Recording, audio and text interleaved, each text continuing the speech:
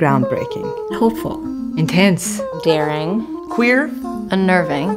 Bold. Badass. My film is visceral. Dreamy. Sexy. Provocative. My film is heartbreaking. Daring. Elegant. The Directing Workshop for Women has been an extraordinary experience. It's a program that really cares about the longevity of your career. I feel like a completely different person from the beginning of the program to the end. I formed these lifelong relationships with other female filmmakers. It's eye opening. The directing workshop for women is super fucking awesome. What's the business? Yeah! I want people to feel how different everybody is. Everyone had a personal story. I hope the audience feels energized, inspired to hire every single one of us. Like the future is here.